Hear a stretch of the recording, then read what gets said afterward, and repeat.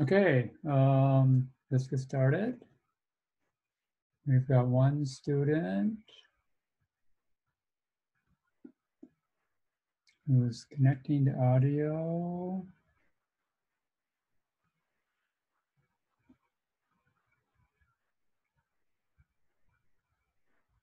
Well, maybe. I'm not sure what's going on there.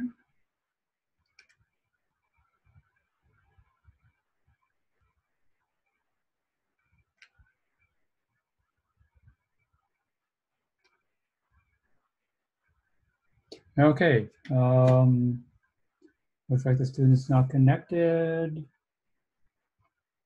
Can you hear me? So the first thing we need to worry about is how can you ask questions um, during the lecture? So let's see.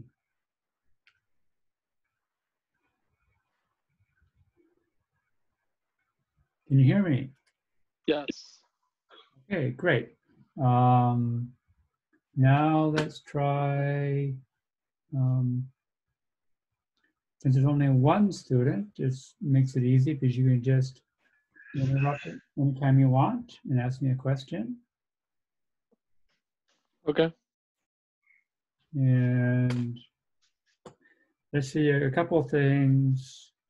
Um, first of all, you probably realize that things have changed drastically in the last week. Um, we're still working out bugs, and so I'm sure as we go go forward, it's going to be um, we'll make adjustments and corrections. Um, so hopefully you can be patient, and if you got suggestions, please let me know.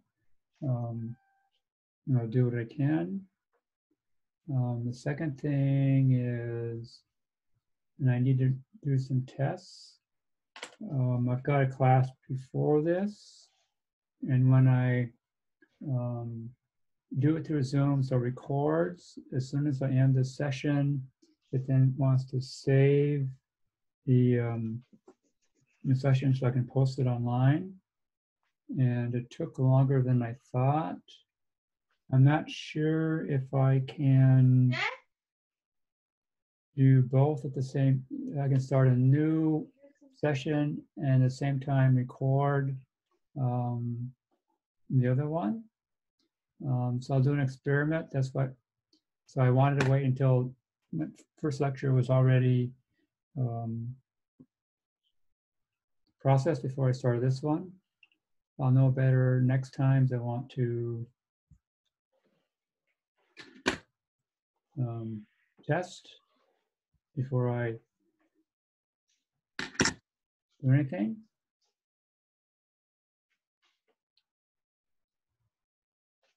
And let's see what else. Ah, yes. The third thing is um, talking to a computer is slightly different than talking to people. And here we go. I need to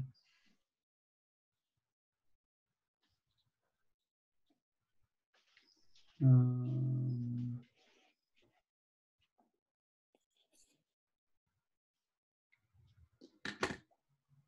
learn how to talk to the machines in a natural way, so I'll work on that.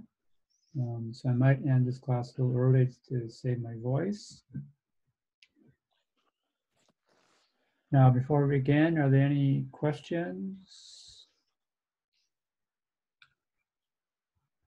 We're now up to four people.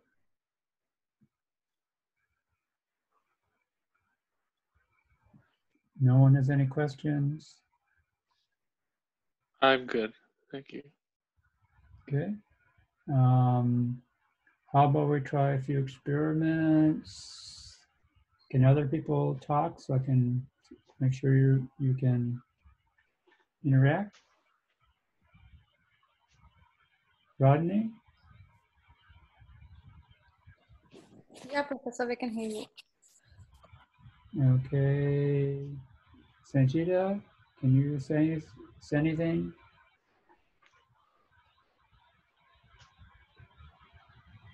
No?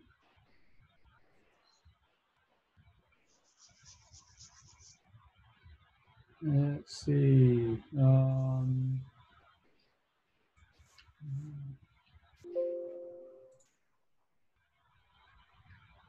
we're actually getting more people than normal.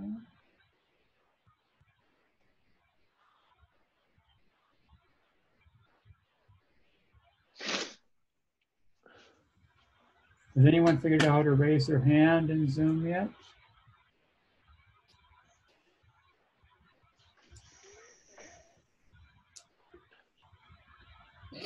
Looking for the option. Do you have um, the ability to answer yes or no?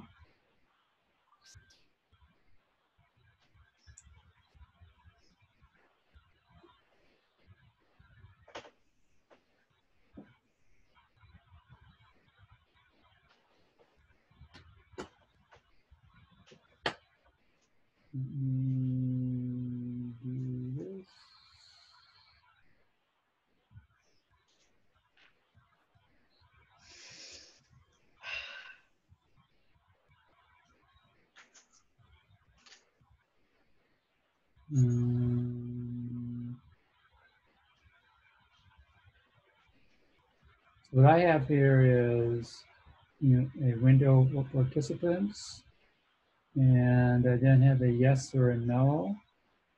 Um, and when someone clicks on the yes or no, I can then see it on that list of participants. Are you seeing something like that?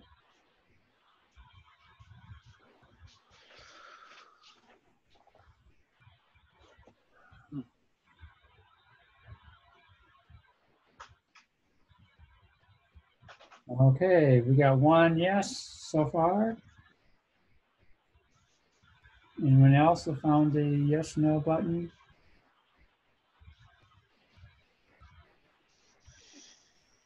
All right. Mm, No, I can't find it.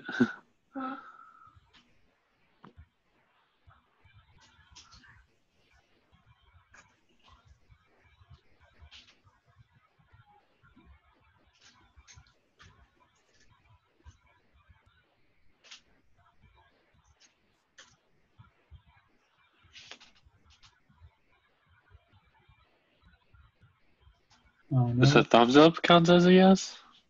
Um, try it and let's see. So Sanchita has a yes. Rodney, Anyone hear me? yeah. So um it's it's in the chat area and you have to expand. Um let's see if I can explain a little better.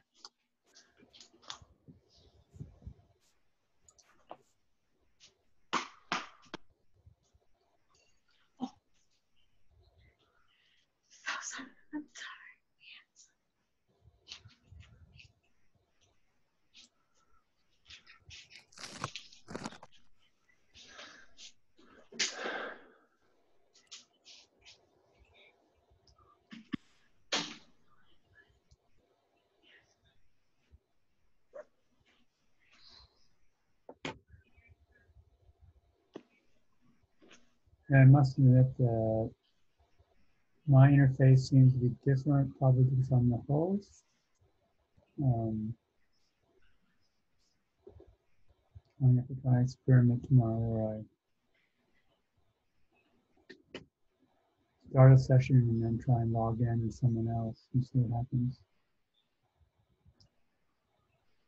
As we go forward, you want to look at um, uh, is a yes or no, and also thumbs up or thumbs down. And also there's a chat session, um, which I have open, and we'll see if that is effective.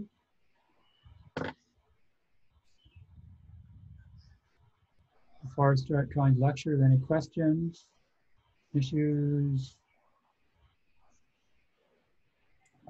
I think can can you guys hear me? Yeah. Um, if you click on, does anyone see the participants uh, icon in the bottom? If you click it, something should show up if you have chat open. And then that's how I saw the reactions.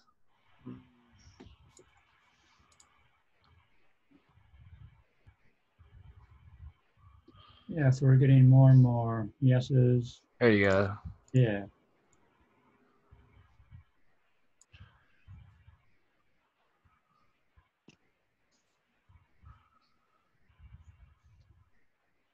Now the question is,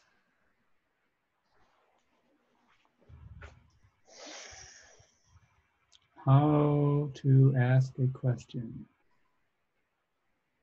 Either ask a question or start a chat so I can see when you got an issue. Um, there's a raise hand reaction similar to yes and no. I don't know if here. I just clicked raise hand. I don't know if we can leverage that. Yeah, I I see that. Yeah. So that's a possibility. Yeah, yeah, and I just, I don't have that option listed, um, since I'm the host, so I don't, I don't need to raise my hand, I guess. Okay, um.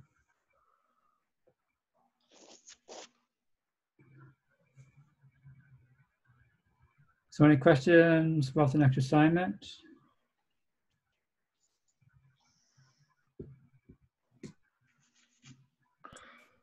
I have a question, Professor. Yeah. Go ahead. Do you, this is Rodney, by the way, do you intend on going over any of the accelerometer topics in detail? Um, yes, but not immediately. Okay, that's it. Okay. Yeah, I did. Um, I wanted to talk about gestures today, but going over my notes, there's some things I wasn't happy with.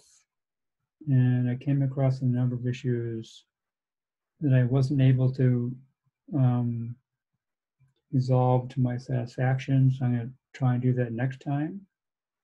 So what I wanted to do today is jump ahead a little bit. Um, so let me now.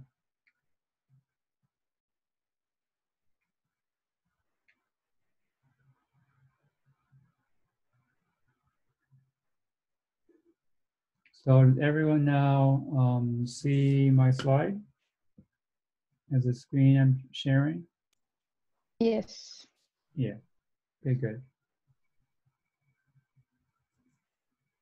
So that, you know, one of the common things apps do is they need to, you know, talk to a server. Um, and to do this, we need to talk about a few topics. One is concurrency because we, you know, the rule is we don't want to do any long running operation on, on the main thread, which means we have to do in the background. Um, so we need to talk about concurrency, and we also need to talk about HTTP because these days the standard is um, you do you basically do all the communication through your server through HTTP. Now, before we begin, um, Android has evolved over the years. Um, and so there's usually two or three ways of doing almost the same thing. Um, some are newer and some are older. And I want I want you to be aware of all of them, although I, I won't go into all of them in, in detail. Um, and now that we're Kotlin, Kotlin has some of its own ways of doing things. So particularly when we go through concurrency, um, we will see um, Kotlin has his own thing, all things they can do. And the other thing to note is, again, the goal here is to be able to um, talk to a server in the background and then get the result back and do something with it on, on the main thread so it can, for example, update the screen. Um, now, AJ, I see you've got your hand up. You have a question? Or was that just remaining from before?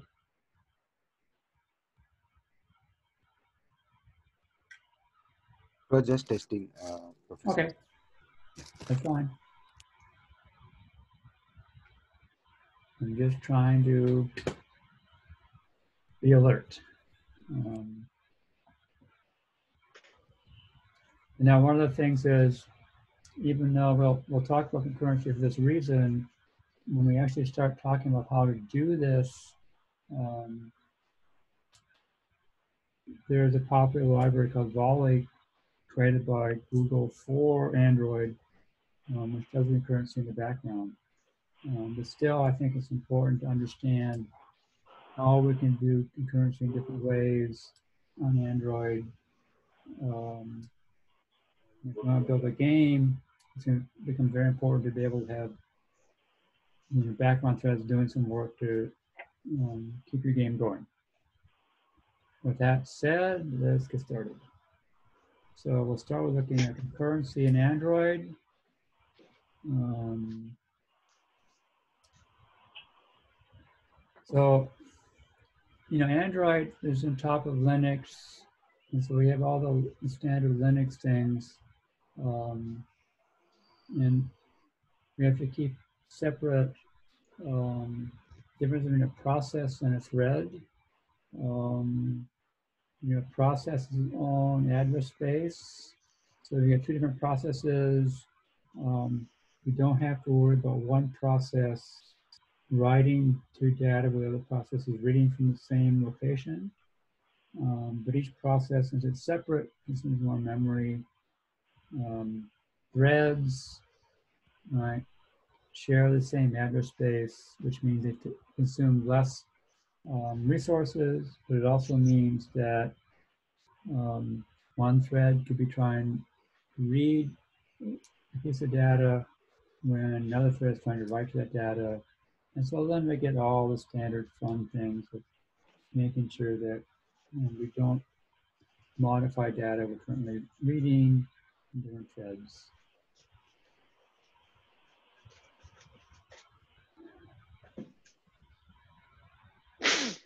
So typically, right, Android um, starts with one thread, one process running one thread, and that, well, that's what they say, but I think there's actually a few other threads running in the background.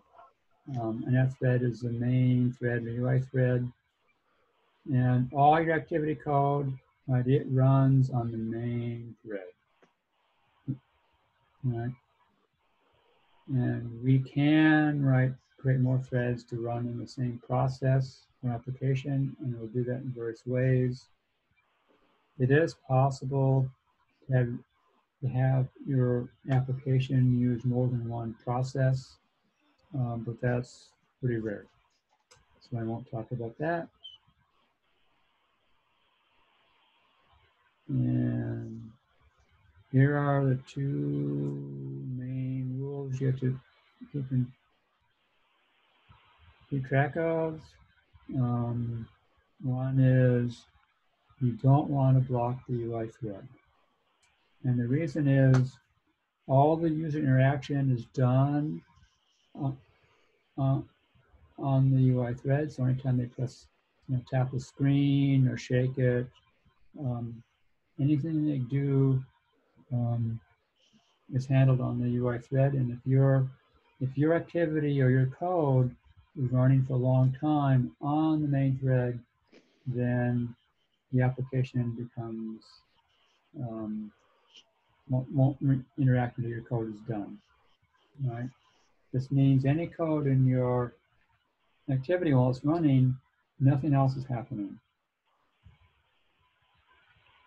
The other issue is if we do use a separate thread to do some calculation, that thread should not interact with um, the UI components or widgets that you have on the screen. Um, and this is true for every um, GUI framework I've dealt with. Android's like this, right? iOS is like this. All the all the frameworks I've done on the Mac that deal with uh, building GUI applications like that. And I'm fairly certain Windows is the same thing because it's no one has really figured out how to get make your user interface to be thread safe. Um, there are a number of different ways in which we can have a thread access um, things in widget. One is, and we'll see more of this later. Um, there is a run on UI thread, so I can give it a runnable object, and then it will run that on the thread. Um, there's also a view post, um, which we can call and give it a runnable, and that will be run on the on the UI thread. And we call that from the background thread.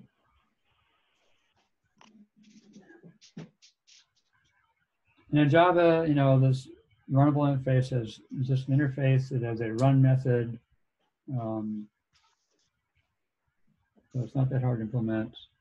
Um, so in Android, there, there are a number of things we can use. We can create a, a standard Java thread. They recommend you don't do this because um, unless you really, really need it, uh, because dealing with threads is complicated to make sure that you handle concurrency correctly. Um, one of the oldest things they gave us was async task. Um, and we'll go through that in detail. Um, and then they, later they added the handler with messages and runnables. And with that, they added a looper. Um, and there's also a thing called services, which allow you to run things, basically run an activity in the background, and that activity never has a Okay. base part. Yes. Um, and then, like I said, uh, Kotlin has its own concurrency issues, right? Um, so in Kotlin, um, they've got coroutines, um, which you can consider as lightweight threads. What Kotlin does is it'll have a thread pool. Um, and then you can, when you create a coroutine, uh, Kotlin will select one of those threads for you um, to run your um, coroutine on. And if your coroutine blocks, it's then taken off that thread and that thread can continue running something else. Um, and then they got, you know, fancy things like channels and actors, and we'll talk about that um, probably later today. Uh, so let's start with async task. Um, the goal here was, look, you know, there's there's a common things we need to do, right? So we're on the main thread. We want to do some in the background. And so I need to pass information to the background thread to do stuff. Um, and then we may need to get updates so that we can have like a progress bar. So, you know, for example, if we're downloading a file, um, like to show a progress bar where we're likely um, showing, we want to know how much of the file is already downloaded. And so our background thread needs to periodically update the main thread, say, well, now we're 20% done, 30% done, etc. Um, and then when the background thread is done, we need to be able to pass to the main thread, here's the result, right? We're now done, here's the answer. Um, and so that's a very common situation. An async task was created to do that. So we don't have to physically deal with threads. Right, so basic idea is we're going to create a subclass of async tasks. And there are a set of methods in async tasks. Uh, the first one is on pre, pre-execute. this is done, that method will be done on the UI thread and it's done first. Um, and then there is do in background. We implement that method like a normal method, and it will be run for us in the back in a background thread. So you never have to worry about threads. You just create a do in background method, and it's done for you. Um, and then if we want the background thread to send the UI thread an update, um, there are two separate methods involved, publish progress and on progress updates. Um, your do in background method can call publish progress, which then triggers on progress update, which is again run automatically for you on the UI thread. Um, and then when you're done, um, on post execute can be called um, and it will be run automatically um, on the UI thread after do in background is done. So we, we get the standard case, right? We do something in the UI thread, and then we go in a background thread to do some work, and we can send updates, and we're done. We have a method which will run automatically on the UI thread, and we don't have to worry about creating threads, scheduling, all that.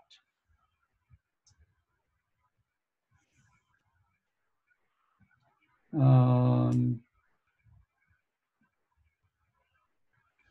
so, yeah, so you're going to create a, a async task subclass, um, and you create it on the UI thread normally as you would do anything um, in an activity, and then you can call execute on it, and that's it. It'll be done. All the other methods will be done for you automatically. Um, and once a task is done, you cannot call execute on it again. Um, okay. Now,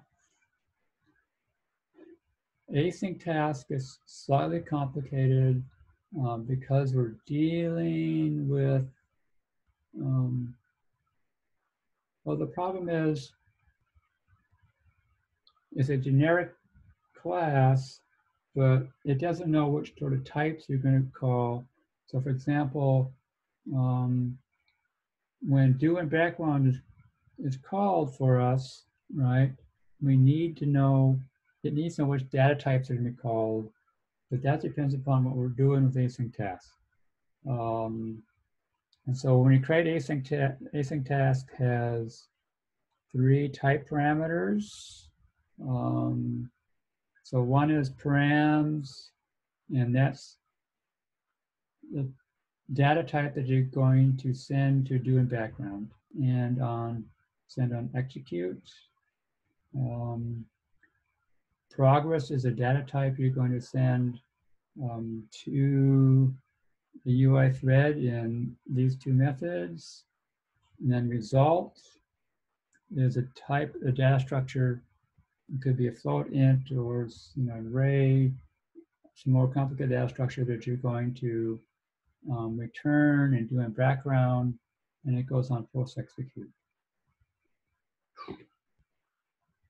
So far, so good? Yep. So, um, you know, here's sort of an overview so someplace in my activity, I create a, um, a subclass of async task. I can call execute on it and I pass some data. Um, then pre-execute would be called for us. We don't call it directly. And when it's done, it's going to then call for us do in background, but that's done in a background thread.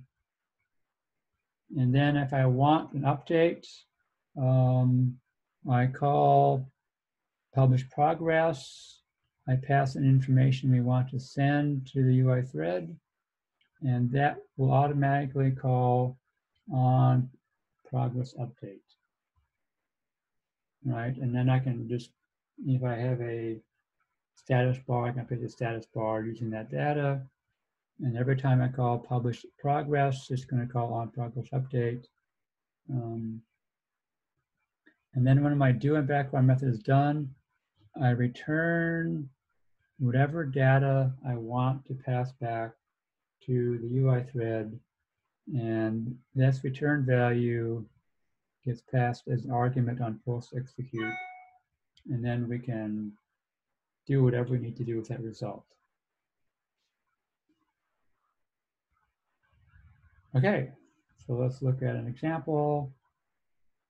Um, yeah, so these are generics. Um, so my example, um, all I'm going to do, oops, yeah, come on, go, on, go back, go back, back, back, um, is that what's going to happen is my background task is just going to display um, a series of words using toast on the main thread.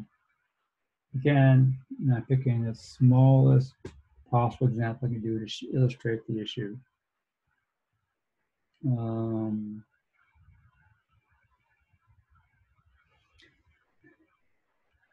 now, um, when we're dealing with Java on Android, it's, it's common to make async task a inner class, makes life a little easier. Um, but I decided not to do inner class in Kotlin. Again, I'm subclassing async task, and now I'm specifying um, three things, right? Three types. First one is the data type that's going to go on, I'm going to um, pass um, into pre-execute. Uh, the second one is what's going to be passed into do in background. And the last one, if you remember, is what's going to pass when, when I'm done and do in background. Um, in this example, I'm just going to return null. Um, in that case, return void. Um,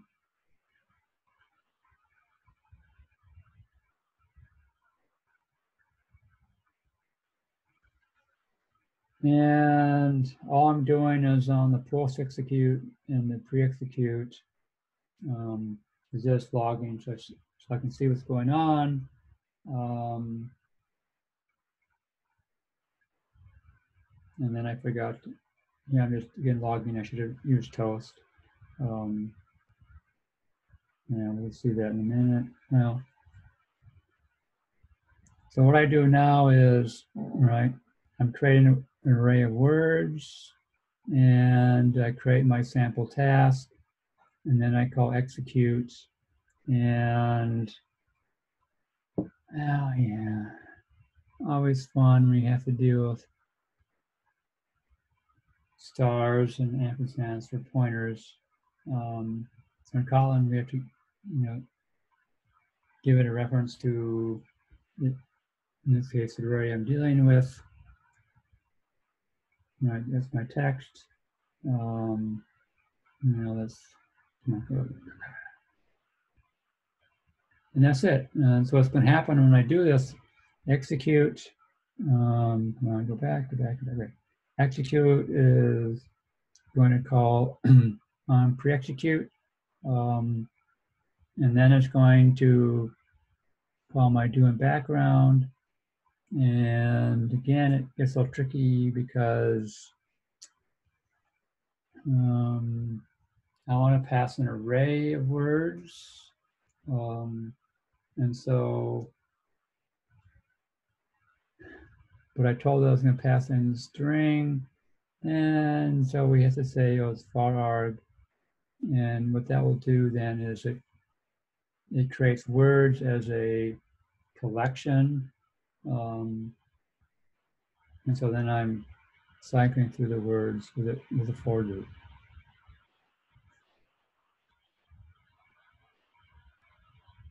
Any questions so far?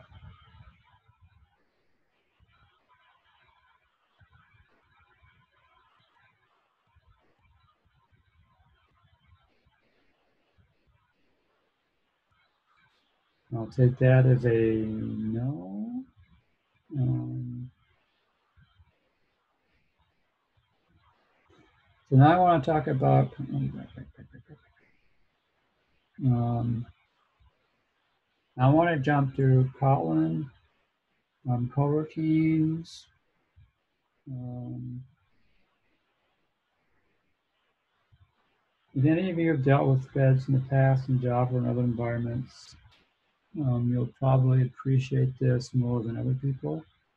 Um, so there is a launch function in, in Kotlin, which will run a coroutine um, in the background thread.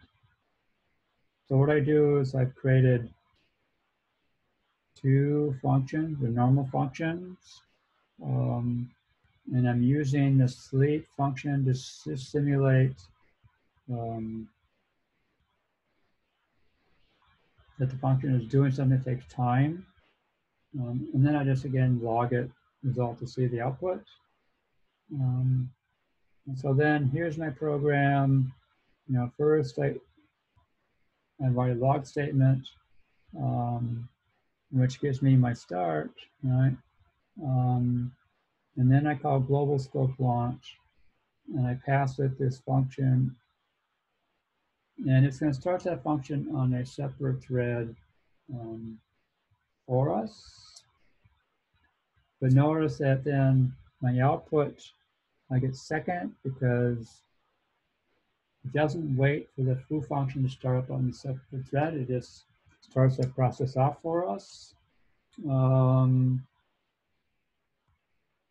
and then I launch another function, which just writes the log immediately. And in this run, that's the one that came next.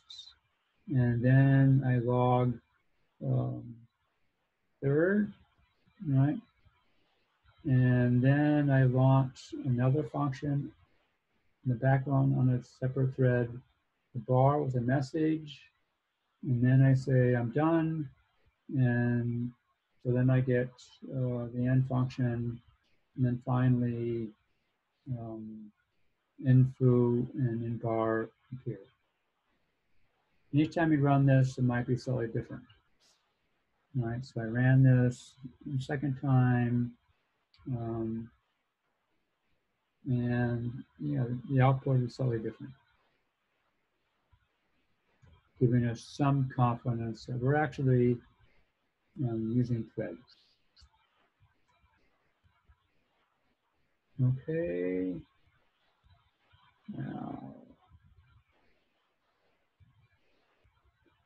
there are times when we want to, when we run a bunch of stuff and then wait until the, all that stuff is on the background is done and then continue doing something.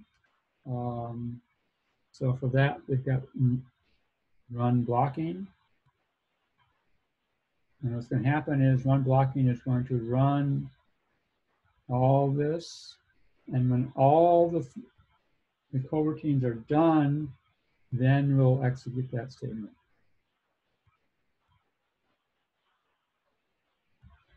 And so again, I've got my function foo, function bar, right? Same as before. And again, I'm basically doing the same thing. And since I'm in the run blocking, I can just say launch.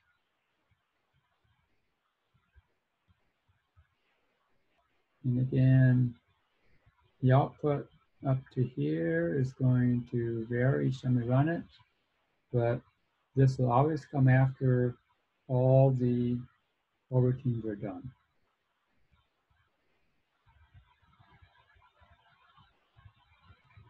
Okay. Um,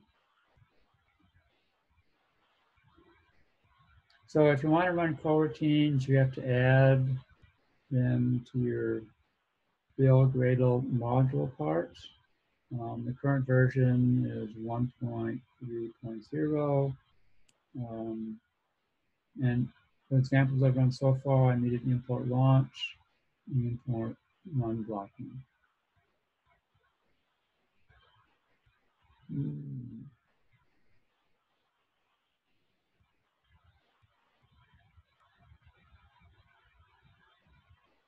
So the key thing to keep in mind is coroutines are not threads, right? They're lightweight. They are run on threads, and when a coroutine gets blocked, you know, say you want a coroutine to read from the network or read from a file, um, it gets blocked waiting for the network access. The thread it's on is not blocked. It's your coroutine is suspended, um, and that that can be doing work.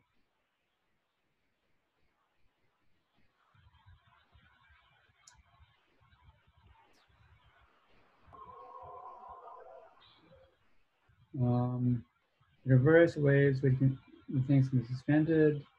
Um, if a function can be suspended, we need to specify it. And we have an example of that coming up. Um, it's the same example, but it's more proper because now I'm saying this function can be suspended and now I'm calling delay because that will suspend the function, right? And the key point here is delay will notify the system that this function is suspended, and then it will take it off the thread so the thread can continue running. The previous example I was calling system clock delay. Um, let's see, where was it? Let's go back there. Um, right? So I'm calling system clock sleep. Um, so what's happening here is this function, right, basically blocks um, thread's being run on until the sleep is done. Because we haven't notified the system that this thread is suspended. But here, right, delay tells the system um, this function is now, we're gonna, should be suspended. I'll take it off the thread and reschedule it into the thread if need be later. So it's very common to make all the functions suspended.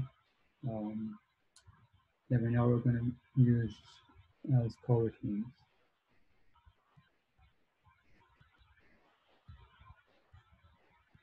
Now, um, big deal here is um, basically Android has dispatchers that run coroutines. Um, and there's three different types, main, IO, and default. Um, and they're designed to do different things. Um, so main runs all the coroutines on the main thread, which means those coroutines can interact with the UI elements directly and um, they can update live data. Um, dispatchers.io runs them off the main thread um, and it's optimized for disk I/O and network I/O and file I/O, right? Um, so it's often used for file I/O, database access, networking access. Um, but we'll see later, both these two are handled for us if we use Room and Volley, so we don't need to worry about it. Um, and then dispatcher's default is run off the main thread and it's used for CPU intensive work.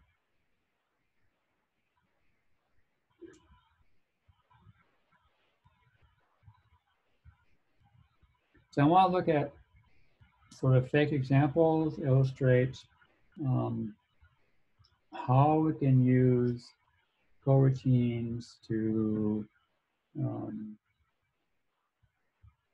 replace async tasks or parts of async tasks. So I've got two functions. Um, one is fetch docs, and what it's going to do is it's going to call my other function get, which is actually going to go on the network and grab some data and this is a fake example, I actually don't include how to do that. Um, now, when we run this fetch docs, um, it's going to automatically run on the main. This is slightly confusing to me at first because um, there's there's a dispatcher called default, which is not actually the default. It's main is a default. You can not specify where we want it run. Um, so when we run this, when we call this function, um, with a launch or in a run block, um, this function is going to be run on dispatcher's main, which means it's being run on the main thread, which means once I get the result back, I can now take that result and interact with GUI elements directly. Um, now, when I call get, it's going to be run on the dispatcher's main too, but inside, I can use this with context and specify which dispatcher I want to use. And I want to use dispatchers.io, which means right, whatever code I put in here will be run uh, not on the main thread, but on a background thread. And when I return the result, again, it's returned up here, and all of a sudden I go back to the main thread. So I've accomplished several things. Um, I can start a function to do some things I want in the main thread, call another function or coroutine that does all its work on the background thread and returns result. And now I can actually work um, do work right on the um, the UI thread, right? Which is exactly what one of the main things async task does is, right, we start on do pre-execute on the UI thread, do in background, right, execute in the background thread, and then what I return from do in background is then sent to the UI thread. Um, that's exactly what I've done here, and I don't have to worry about writing subclasses and learn about generics and what type of pass. Any questions?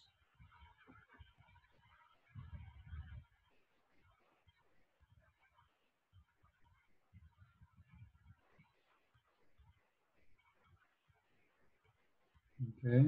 Um,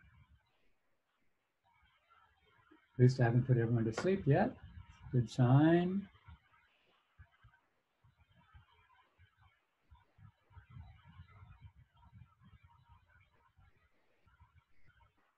It's on off the main thread. And there's a lot more we can talk about. Um, and here's a, a link to um, more documentation about um.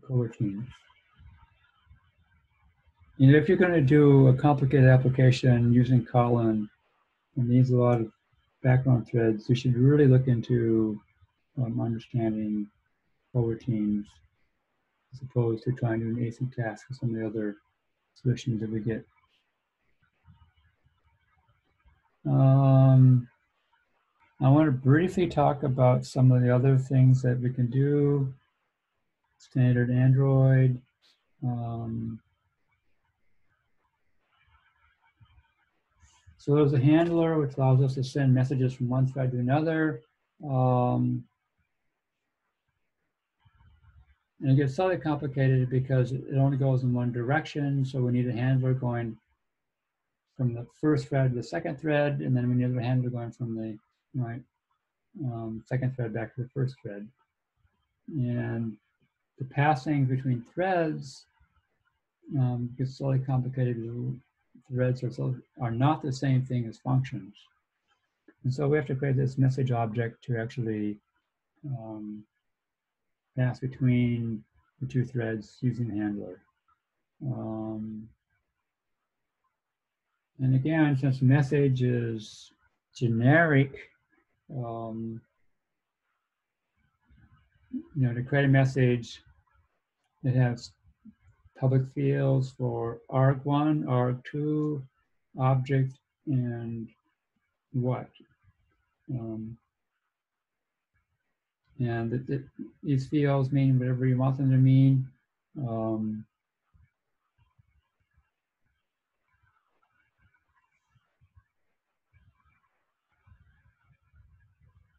and so the basic operation is, if I got two threads, you know, say A is the main thread, and B is a thread working in the background. Um, when I first I create a handler, and then then when I create the thread, I pass that handler to the thread in its constructor, um, and then um, you know on the, on the thread, I want something back, first I have to get a message. I can then when I create the message, I can I, I can set the various fields, and then I call send message on it, right in my handler, and then that handler has a handle message which we implement, which then reads the data from that message and works on the um, first thread.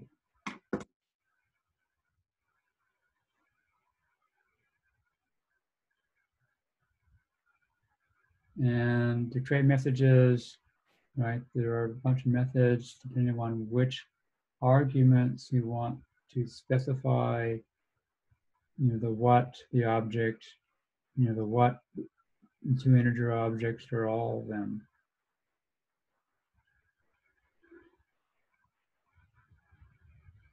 And we have to create a handler subclass and it has to implement this method handle message um,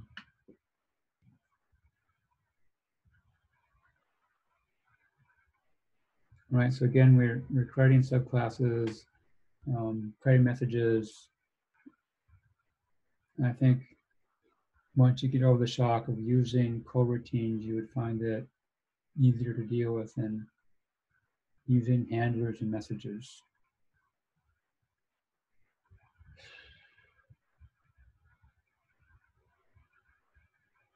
And then, of course, we can send a message. We can do it immediately, or we can post it um, in the future.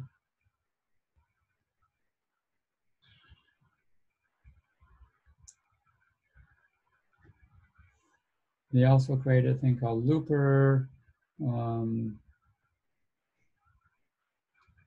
and the difference here is um, that basically Looper waits in the background for a message processes it and for another message. Whereas typically, um, when you use handlers and threads, you handle a request once and you move on. So we get this loop: handle message, get a message, do something, pass it back, right? Um,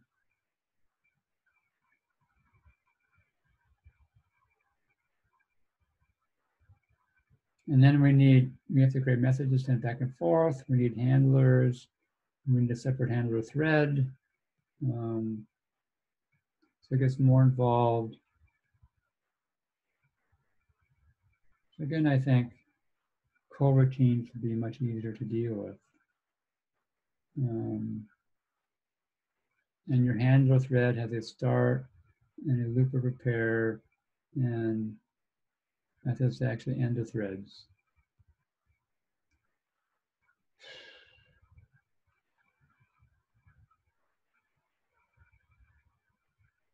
Kotlin has something similar um, called channels. Um,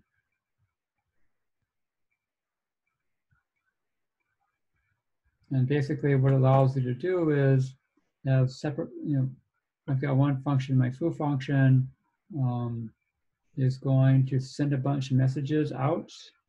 Um, and then my other function bar is going to read those messages.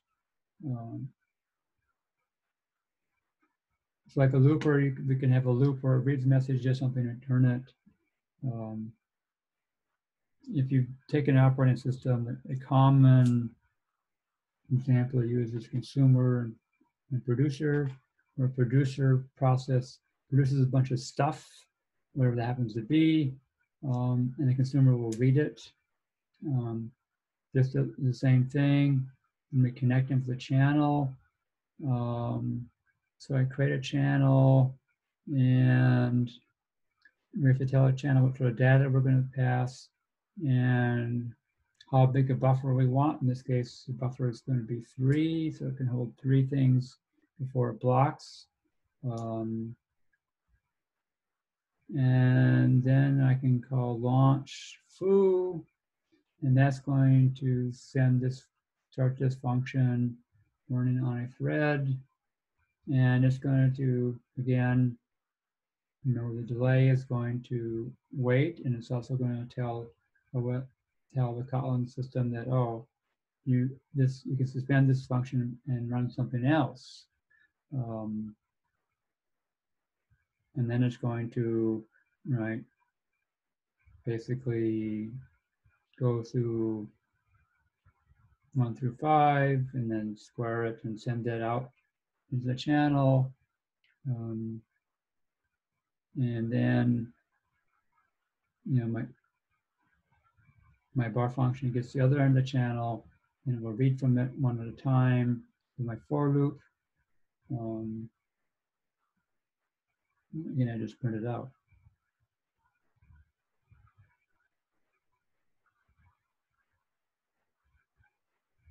So again, I think um, once you get over the shock of co- routines and channels, um, it tends to be a simpler solution than what you get in Java or what Kotlin built on top of Java.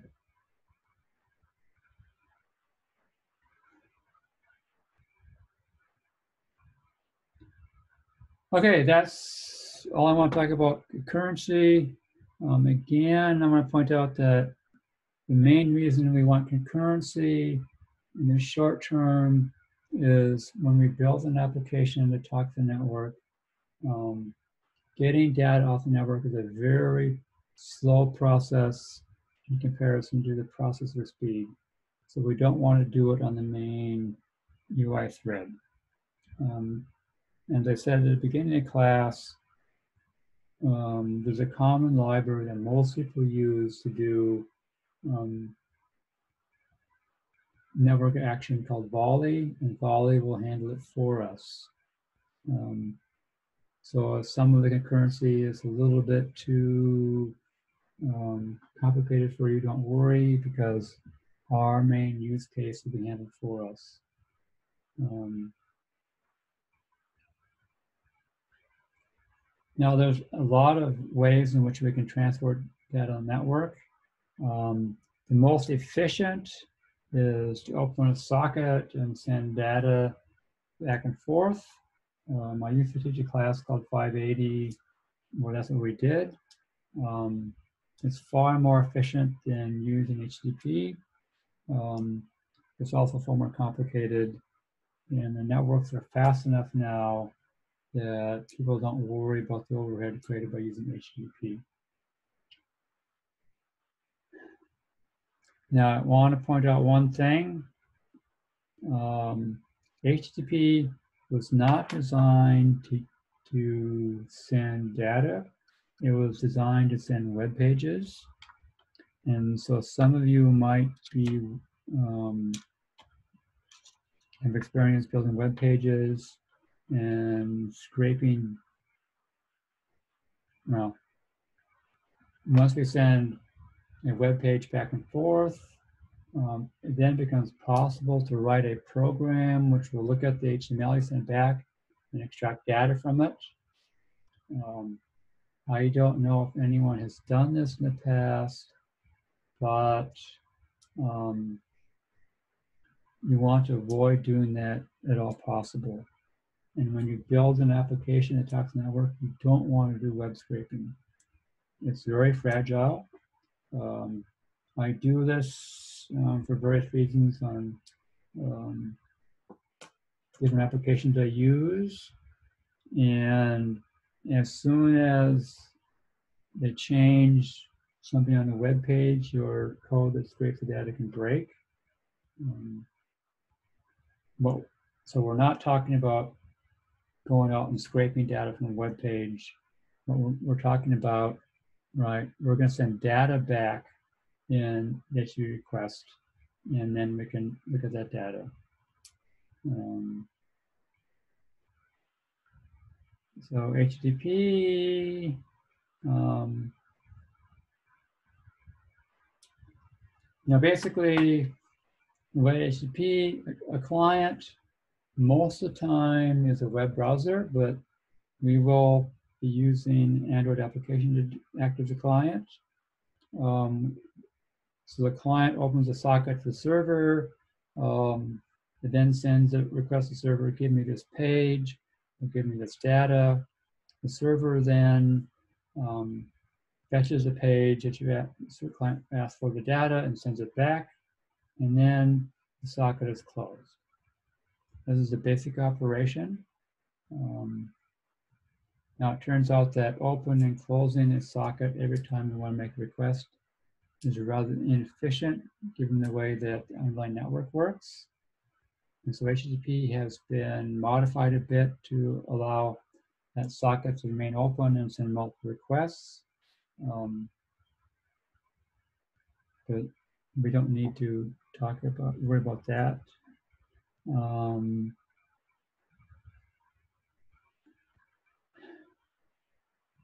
now, when we um, send data, or when send the client sends a request, um, that request has a bunch of headers um, and potentially a, bo a, body with text with data in it.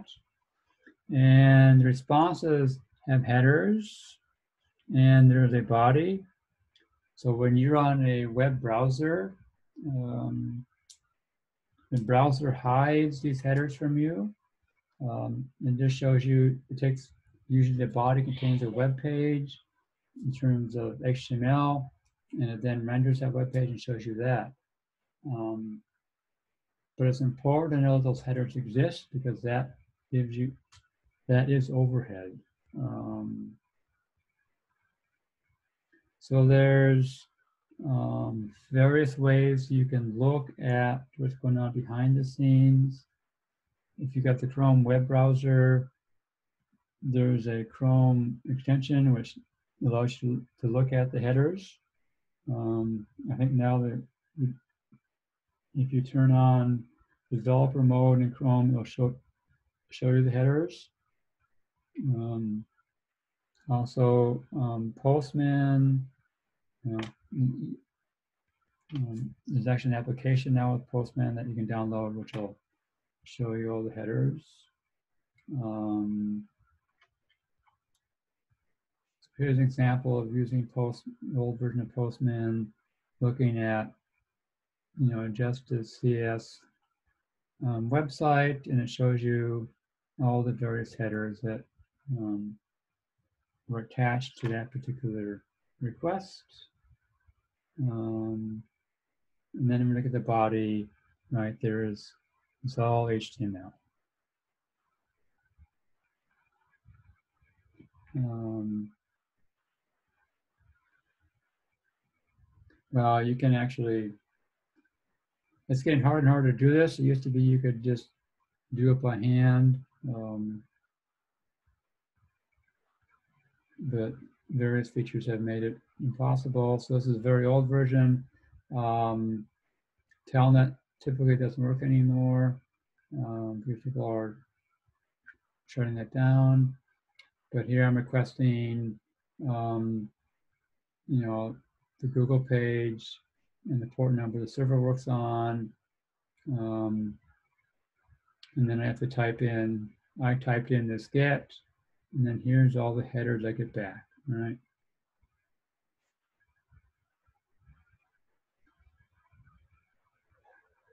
There are two types, a bunch of types of requests. Um, the most common you're going to use are GET and POST. Um, now, typically, when you're in a web browser, GET is used to fetch web pages. In our usage, we're going to use GET to get data from the server. Uh, and then POST will will use POST to send data to the server.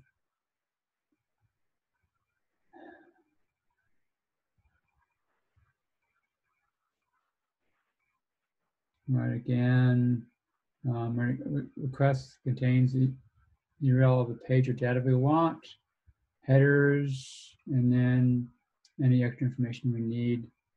Um, and then the response will have headers, and the body will contain the actual um, response.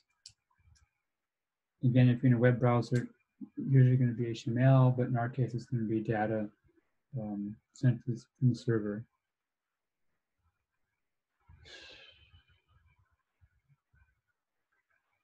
Like I said, using HTTP for data, it's just e- it's a lot easier than dealing with network programming. Um, some other advantages. It means you can use a web server as a back end. So if people know PHP, you can actually set up a, a server to serve data. Um, and it makes it easy for the clients to make requests.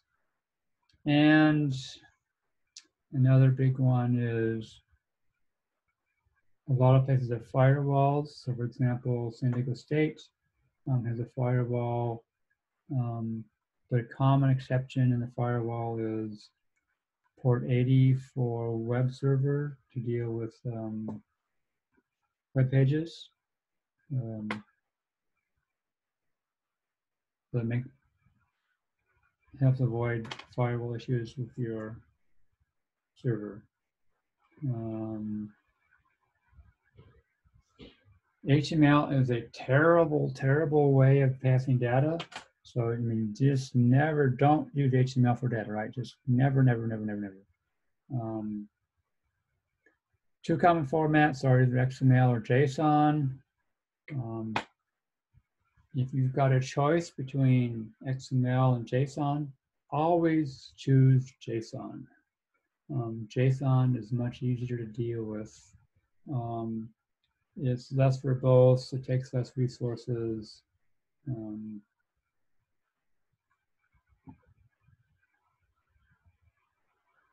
XML, right? It's, it looks like HTML, but it's more generic. So here's an example.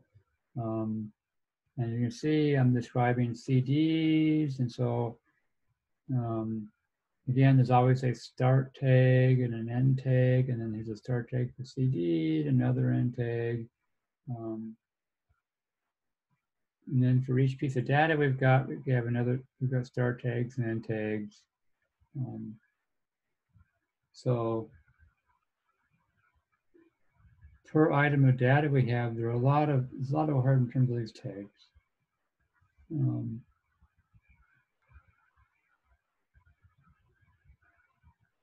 and Android comes with, you know, several different parsers that we can use.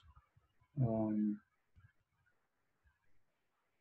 again, if you can avoid XML, you should, um, because XML is more verbose, the parsing is slower and takes more resources. Um, and there we go, right? Verbose, slower, and more resources. Um, let's see. We've got five more minutes here. I'll start this for a little bit and we'll back up next time and start over from here. Um, JSON stands for JavaScript Object Notation.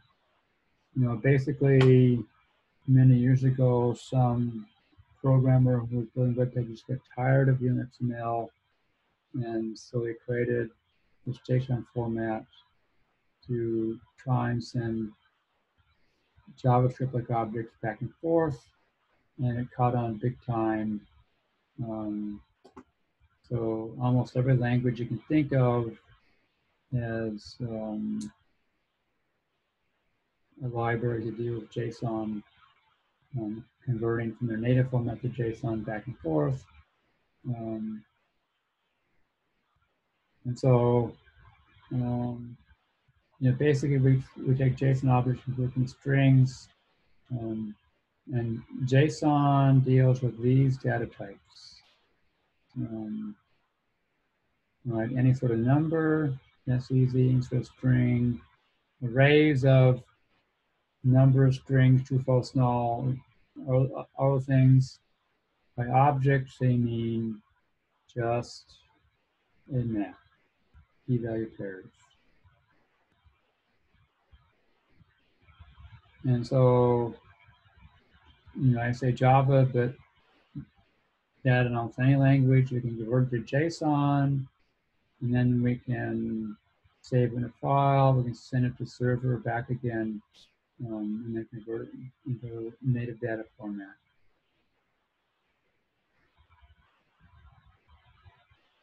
So all these are numbers, legal numbers in JSON. Um, these are all strings. And then there's null, true, and false. And here is, right, just basically, you know, JSON arrays, right? It's an array of one through three. Array can handle any data type. Um, and so here, the bottom one, I have the middle element is another array.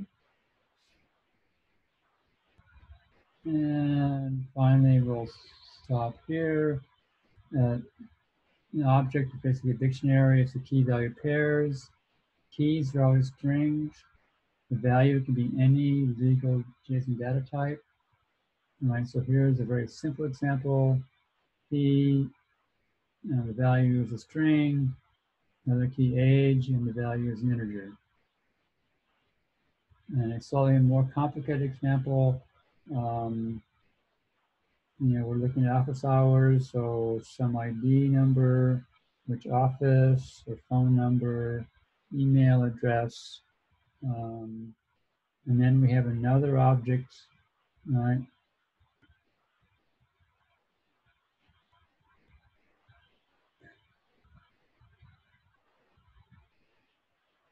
So next time we'll look at how to deal with uh, JSON and code. Any questions or issues before we end for the day? I'm good from my side. Okay, good. No questions. Professor, I have one question. Okay, Uh, on coroutine, uh, like every time it launches, uh, whenever we say launch, are we creating one thread or how it will be? What happens in the background when we say launch? Okay, so the question is about, um, when we call launching a call thread, are we creating a new thread? No. Um, depending upon how we, how we launch it, it will run on an existing thread. Um, your coroutines will keep a pool of threads available for us. Okay, so okay, so whenever we say launch, it just like I mean, uh, kind of like we are raising an event to perform something. Right, and we are then scheduling it on a existing thread. Okay, got you. Launching is pretty fast. Yeah, yeah, got you. Thank you so much. Any other questions? Uh, I have one. Okay, Um, I was hoping you can grade my assignment one. yes, I will work on that. Okay, thank you. Any other questions?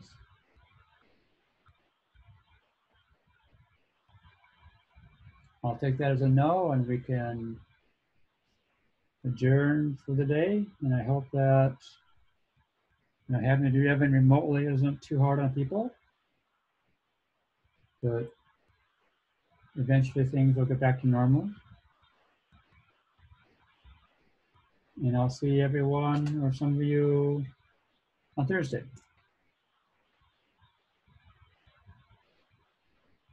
Okay, see you then. Yeah. yeah. See you, Professor. Mm -hmm.